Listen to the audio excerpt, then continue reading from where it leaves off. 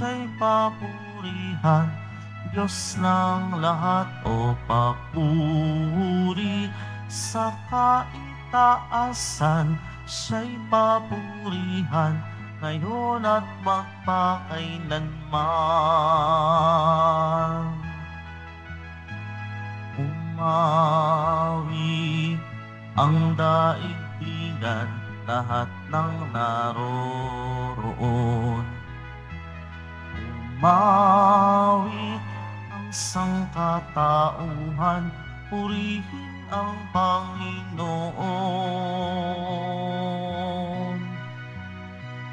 Papuri sa kaitaasan, siya'y papurihan. Diyos ng lahat o papuri sa kaitaasan, siya'y papurihan ngayon at magpakailanman. Sa ngala ng Ama at ng Anak at ng Espiritu Santo, Amen. sumainyo ang Panginoon. At sumaiyo rin.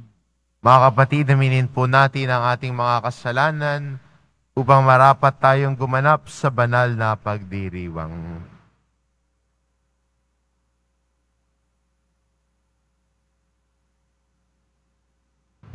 Inaamin ko sa makapangyarihang Diyos at sa inyo mga kapatid.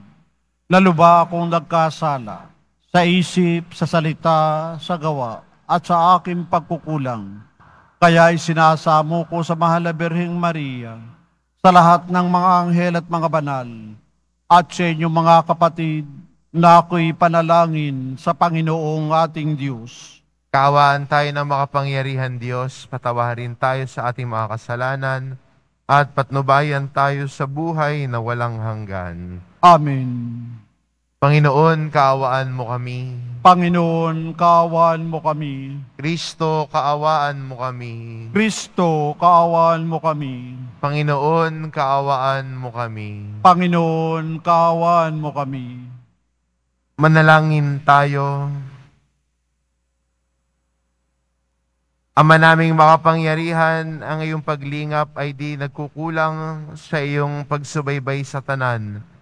Iniluluhog namin ang iyong, iyong pawiin, ang tanang pinakapi, makapipinsala sa iyo naway panat at iyon naway ang panatilihin ang pakikinabang naming walang maliw sa pamamagitan ni Heso Kristo kasama ng Espiritu Santo magpasa walang hanggan. Amen. Maupo po tayo.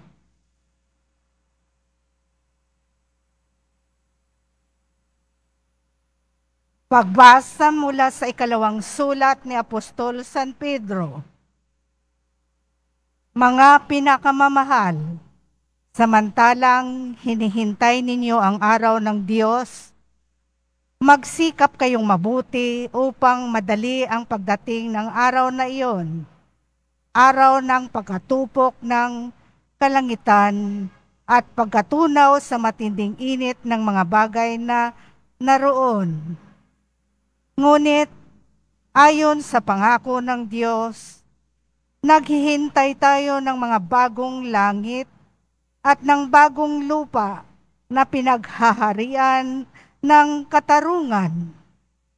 Kaya nga, mga minamahal, samantalang kayo'y naghihintay, sikapin ninyong mamuhay na payapa, walang dungis at kapintasan alalahanin ninyong kaya nagtimpi ang Panginoon ay upang bigyan kayo ng pagkakataong maligtas. Ngayong ito'y alam na ninyo, mga kapatid, dapat kayong mag-ingat upang huwag kayong maliga- mailigaw ng mga taong walang matuwid na patakaran. Sa gayon, hindi kayo matitinag sa inyong mabuting kalagayan. Ayon sa kagandahang loob ng Diyos, magpatuloy kayo sa paglago, sa kabutihan at sa pagkakilala sa ating Panginoon at tagapagligtas na si Heso Kristo. Sa Kanya ang kapurihan, ngayon at magpakailanman. Amen. Ang salita ng Diyos. Salamat sa Diyos. Poon, amin kang tahanan noon, ngayon at kailanman.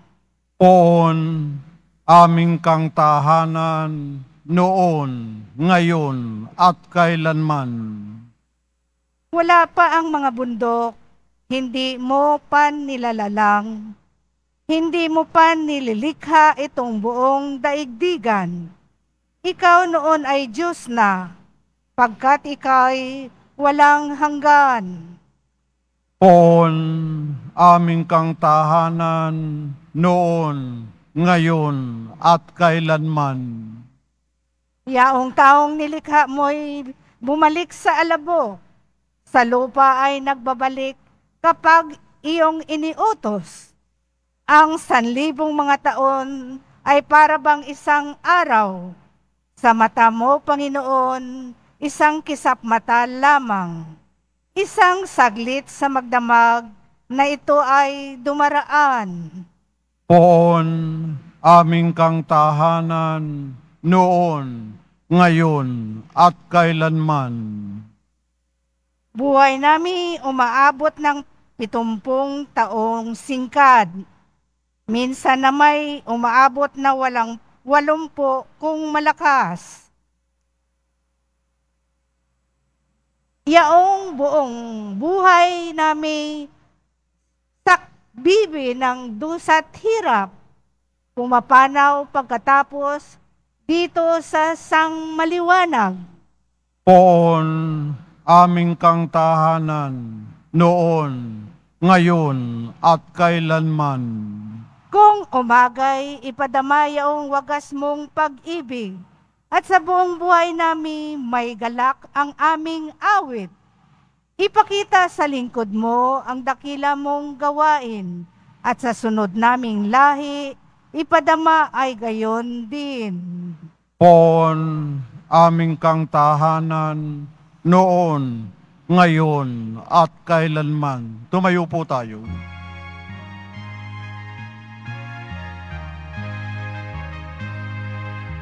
Alleluia.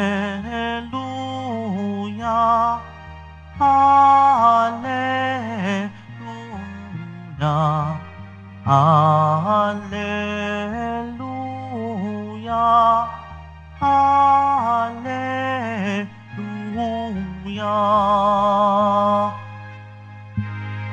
Diyos Ama ni Yesu Kristo, kami ay liwanagan mo at tutugon kami sa iyo. Alleluia, Alleluia, Alleluia, Alleluia.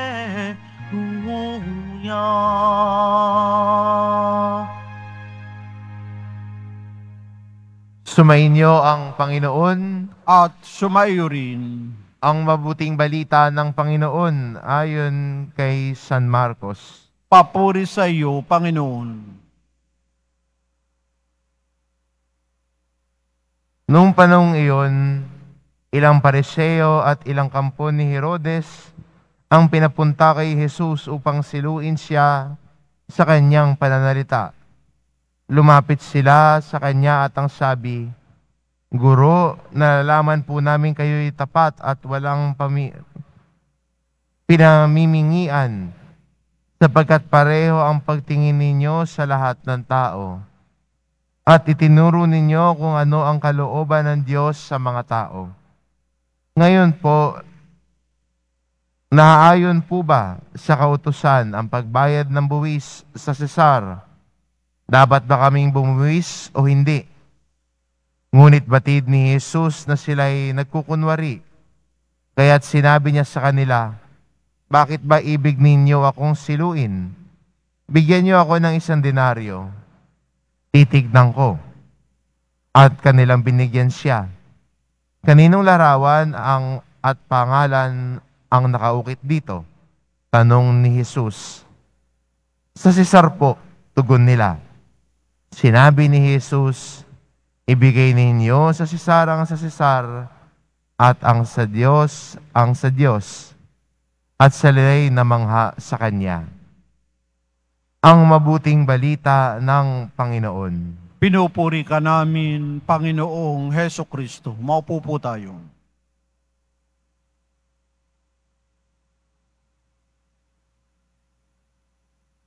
Sa ating pagninilay, maganda pong kasama natin sa ating pagdadas pagninilay no? na si Jesus ay muling tinatanong. At kadalasan, pag tinatanong si Jesus, nais nilang tanungin siya at inaabangan nila kung may sasabihin siyang mali o hindi nila gusto o hindi naaayon sa kanilang ah, gustong marinig. At minsan, aminin natin, ito rin nagiging balakid natin sa pakikinig. Ang gusto lang nating pakinggan ay yung gusto nating marinig. Yung gusto lang natin sabihin at sambitin sa atin ay yung mag-validate ng gusto nating marinig. Ayaw nating makarinig ng taliwas sa iniisip natin o minsan kay question sa ating nais. Kaso nga lang minsan, pati sa salita ng Diyos, ganon din tayo. We also approach God with that selective hearing na gusto lang nating makipakinggan ang gusto nating marinig. Pero sa pagtuturo ni Jesus, minsan ang salita niya ay nagbibigay comfort sa atin. Marami siguro sa atin nakahanap ng kaginhawaan, nakasumpong ng pag-asa, dahil sa salita ng Diyos. Totoo nga naman, God's Word is alive, God's Word inspires us, God's Word is our source of hope. Pero sabi din ni San Pablo, na ang salita rin ng Diyos, ang kanyang mga aral at turo, ay tulad ng isang espada.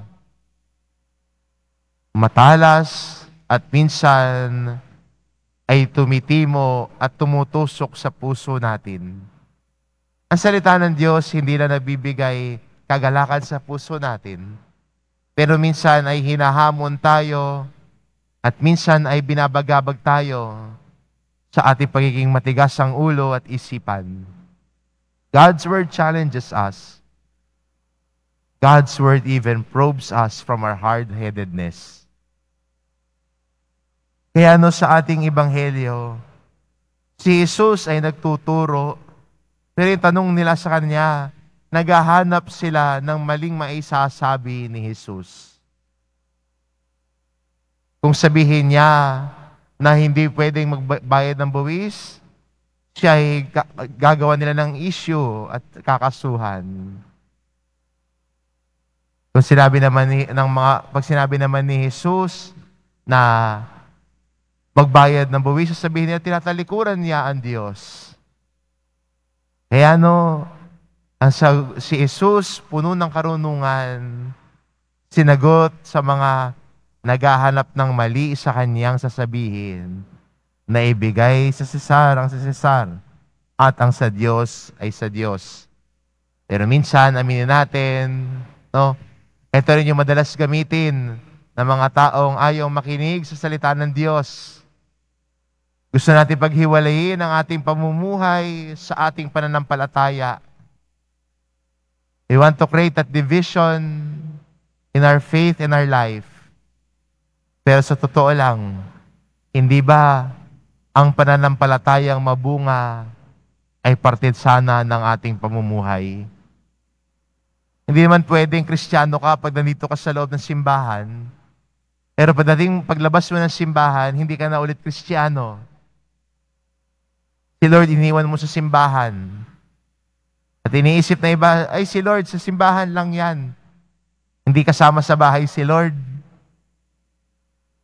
Maganda sana bilang mga Kristiyano na ang pagiging Kristiyano sana natin ay araw-araw, lagi-lagi, kahit saan man tayo nagpupunta.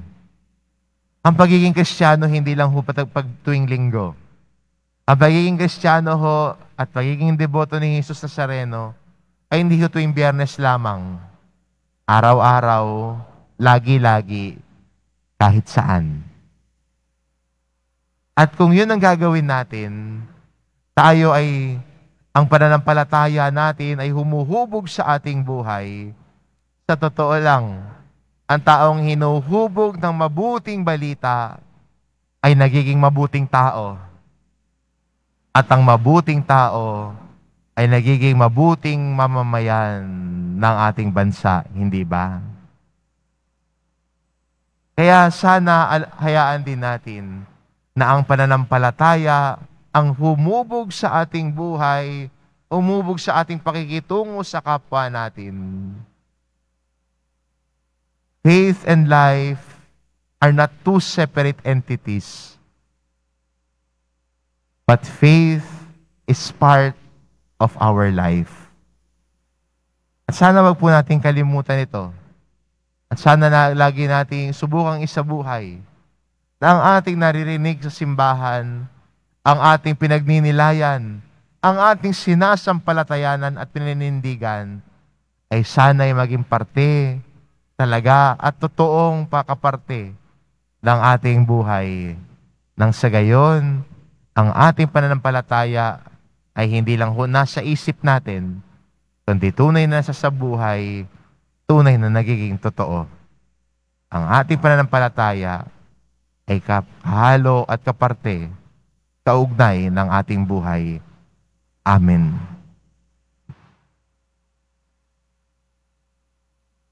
Tumayo po tayo.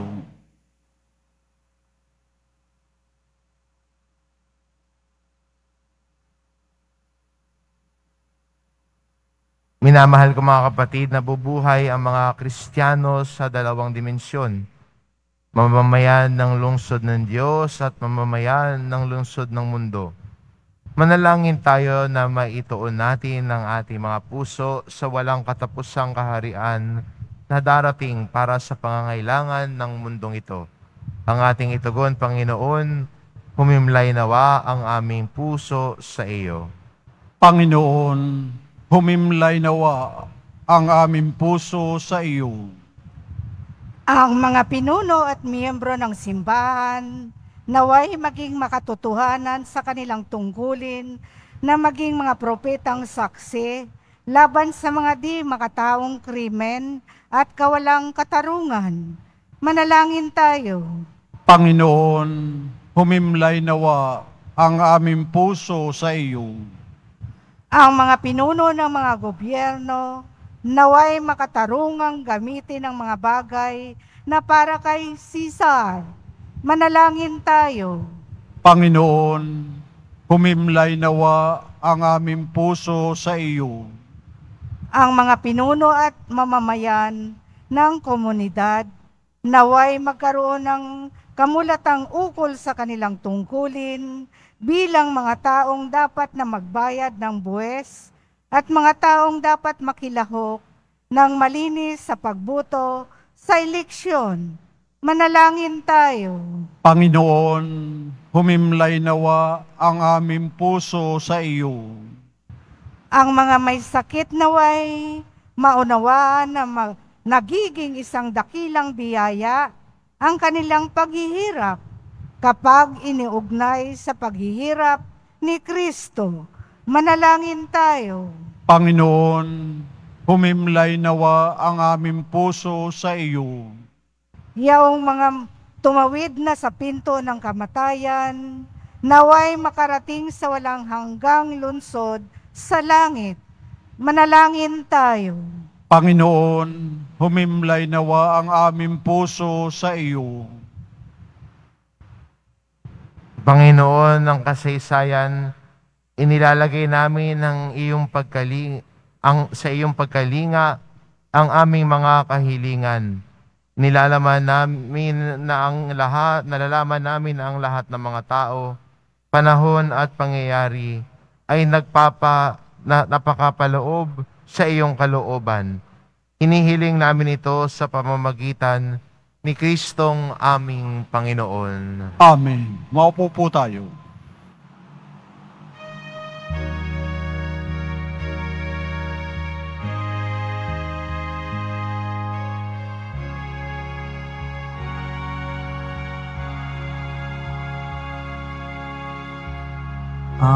Aming alay sa'yo, Panginoon.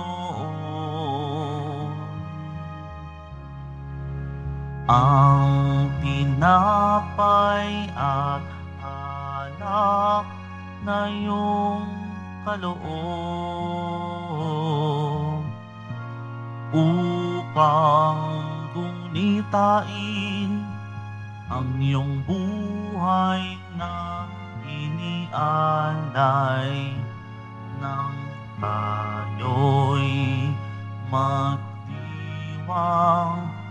bilang isang sambayanan.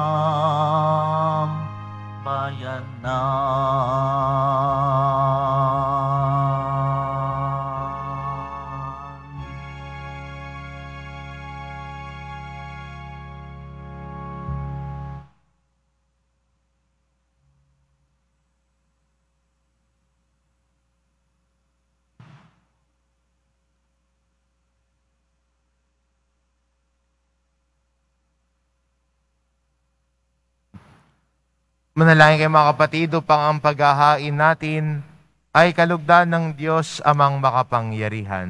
Tanggapin nawa ng Panginoon itong paghahain sa iyong mga kamay, sa kapurihan niya at karangalan, sa ating kapakinabangan at sa buong sambayan na niyang banal.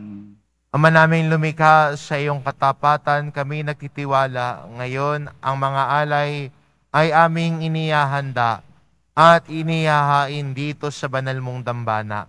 Sa kagandahang loob mong sa aming dumadalisay, kami naway makaganap ng may malinis na kalooban sa pamamagitan ni Heso Kristo kasama ng Espiritu Santo, magpa sa walang hanggan. Amen.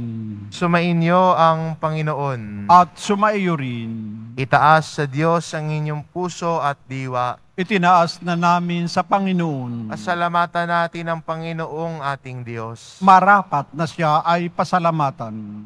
Ama naming makapangyarihan, tunay ngang marapat na ikaw ay aming pasalamatan sa iyong paglingap at kagandahang loob. Ang tao'y nilikha mo't pinangangasiwa sa sansinukob. Sa hangad mong siya'y iwastong lubos, siya'y pinagdusa mo sa kanyang pagtalikod. Sa iyong pagiliw, iyong ipinahintulot na makabalik siya sa pamamagitan ni Kristo Jesus. Kaya kaysa na mga anghel na nagsisiawit ng papuri sa iyo, nang walang humpay sa kalangitan, kami nagbubunyi sa iyong kadakilaan. Santo, Santo, Santo, Panginoong Diyos ng mga hukbo, napupuno ang langit at lupa ng kadakilaan mo, o sana sa kaitaasan, pinagpalang na paririto sa ngalan ng Panginoon, o sana sa kaitaasan. Lumuhod po tayo. Ama naming banal, ikaw ang bukal ng tanang kabanalan, kaya't sa pamamagitan ng iyong Espiritu, gawin mong banal ang kaloob na ito, upang para sa aming magiging katawan at dugo ng aming Panginoong Kristo. Bago niya pinagtiisang kusang loob na maging handog, hinawakan niya ang tinapay, pinasalamatan kanya, Pinagati-hati niya iyon, iniabot sa kanyang mga alagad at sinabi, Tanggapin ninyong lahat ito at kanin, ito ang aking katawan, na ihahandog para sa inyo.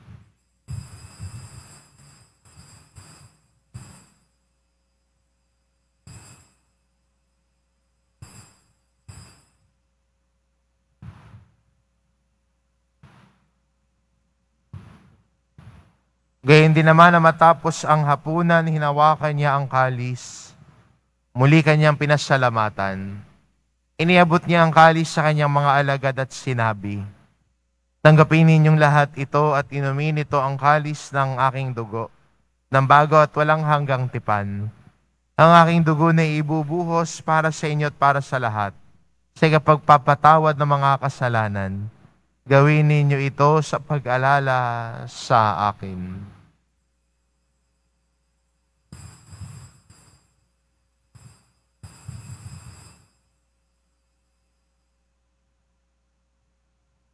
Tumayo po tayo.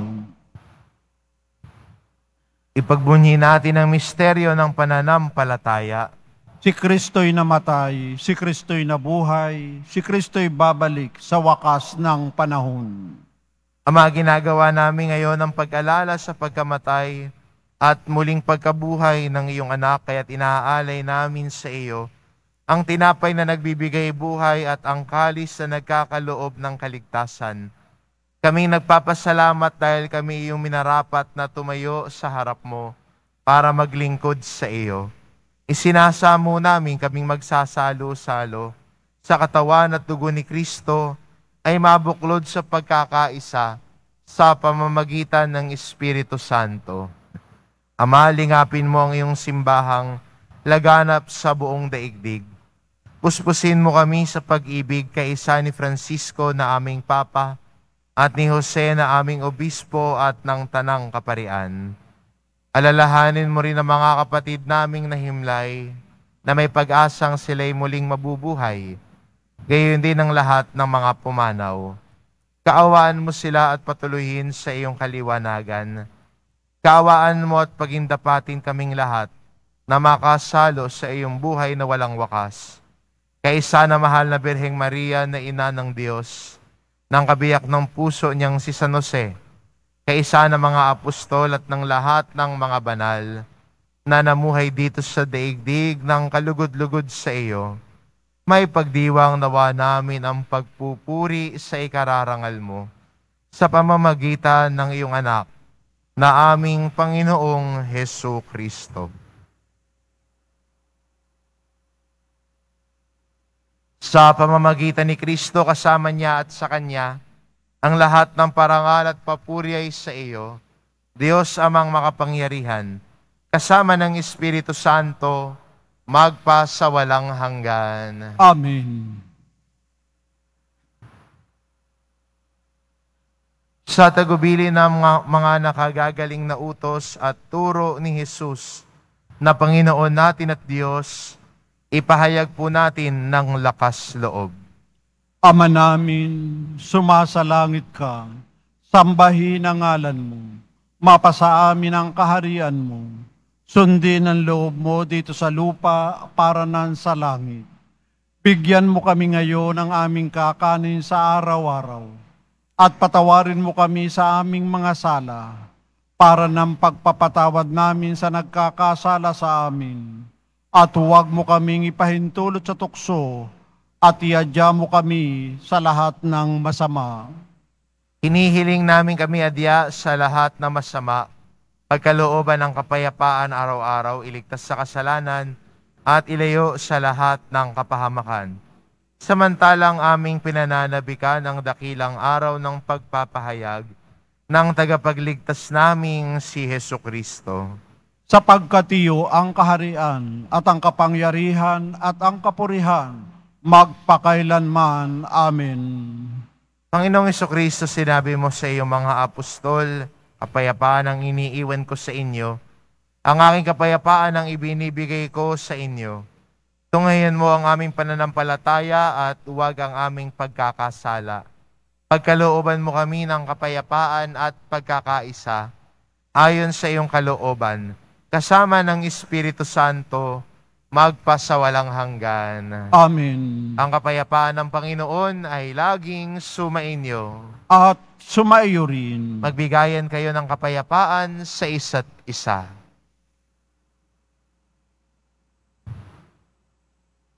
Kordero ng Diyos na nagalis ng mga kasalanan ng sanlibutan, maawa ka sa amin. Kordero ng Diyos na nagalis ng mga kasalanan ng sanlibutan, maawa ka sa amin. Kordero ng Diyos na nagalis ng mga kasalanan ng sanlibutan, ipagkaloob mo sa amin ang kapayapaan. Lumuhod po tayo.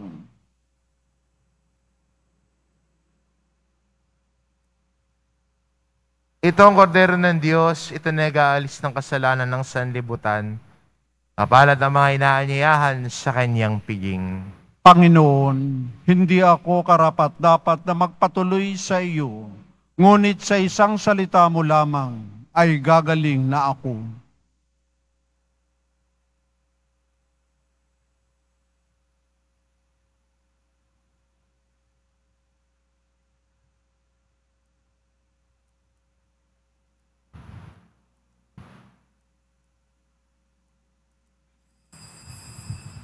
Para sa lahat ng tatanggap ng banal na komunyon. Sasagot po tayo ng amin pagkasabi ng pari o ng lay minister ng katawan ni Kristo. At isubo agad sa bibig bago umalis sa harapan ng pari o lay minister. Sumunod po tayo.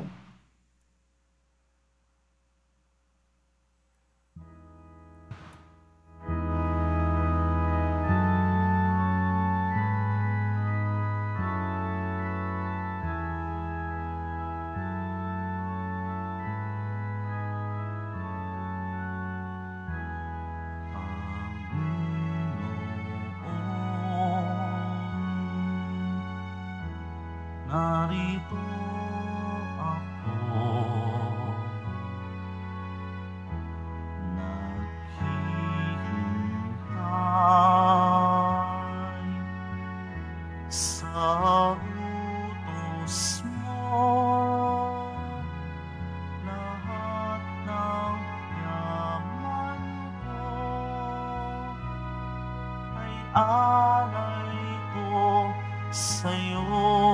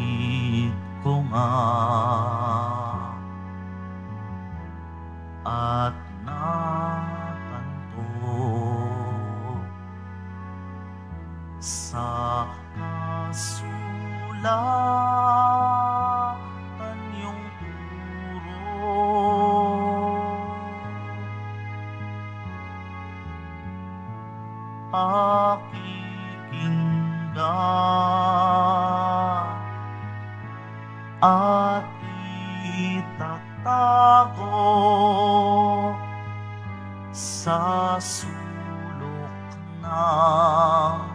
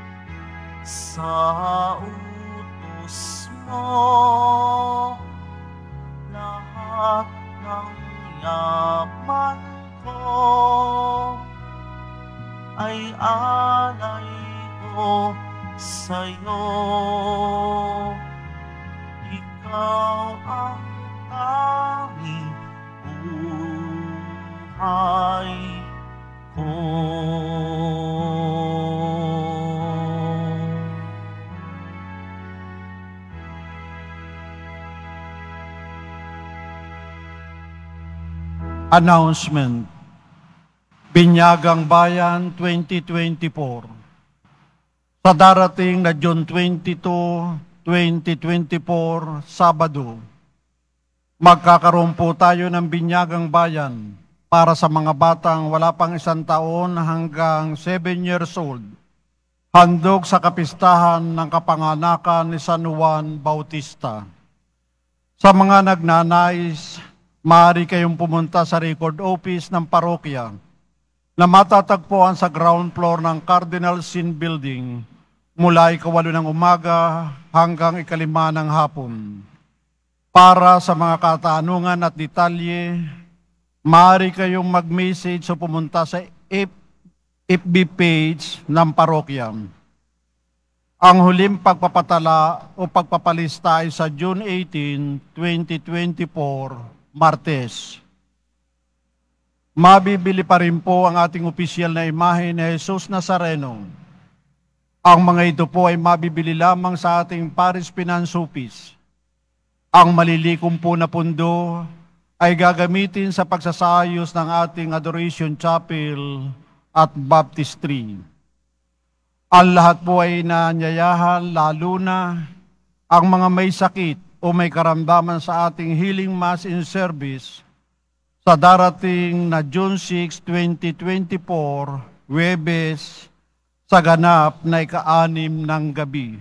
Makiisa po tayo. Pagkatapos ng misa, wiwisikan po ang lahat ng banal na tubig. Pinakikiusapan ng lahat na manatili lamang muna sa inyong mga lugar. Sa Quezon Boulevard o sa Plaza San Juan, ang labasan ng lahat. Sumunod po tayo. Maraming salamat po sa inyong pagdalaw at pagsisimba sa Basilica Minor at pambansang dambana na Jesus Nazareno. Tumayo po tayo.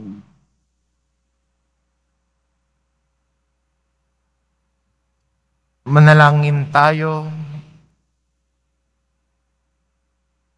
Ama naming mapagmahal, pagharian mo ang iyong espiritong kaming pinapakinabangan mo sa katawan at dugo ni Kristo upang di lamang sa pagsasalita, kundi rin naman sa pagsasagawa, ikaw ay aming maipagdangal at maging marapat kaming makapasok sa kaharian mo sa kalangitan sa pamamagitan ni Yesu Kristo kasama ng Espiritu Santo magpasawalang hanggan. Amen. Sumainyo ang Panginoon. At sumaiyo rin. Mahal na pong Jesus Nazareno, inihayag mo sa pamamagitan ng krus ang walang maliw na pag-ibig ng Diyos sa sangkatauhan. Pakinggan mo ang kahilingan ng iyong angka na nagsusumamo sa iyo. Makakamtanawa nila ang iyong katugunan at tanggapin ang kasagutan na may utang na loob na tinatanaw. Basbasan din po ninyo ang mga may daladala nilang imahin at dasalan sa pamamagitan ng bendisyon na ito, naway maalala nila ang mga pangako nila noon sa binyag, na ikaw ang kanilang iibigin at paglilingkuran, bilang Panginoon magpasawalang hanggan. Amen. At pagpalain kayo ng ating mapagmahal na Diyos, ang Ama, at ang Anak, at ang Espiritu Santo. Amen. Humayo kayo, taglay ang kapayapaan ng poong Jesus Nazareno. Salamat sa Diyos.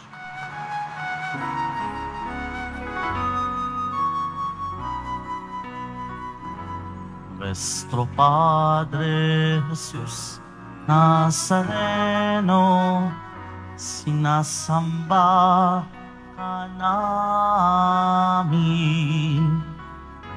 Pinipintuho ka namin. Aral mo ang aming buhay at kaligtasan. Nuestro Padre Jesus Nazareno, iligtas mo kami sa kasalanan. Ang krus mong kinamatayan ay sagisag ng aming kaligtasan. Nuestro Padre Jesus Nazareno, dinarangal ka namin. Nuestro Padre Jesus Nazareno, niluluwalhati ka namin. Nuestro Padre Jesus Nazareno, dinarangal ka namin. Nuestro Padre Jesus Nazareno, nilulwalhati ka namin.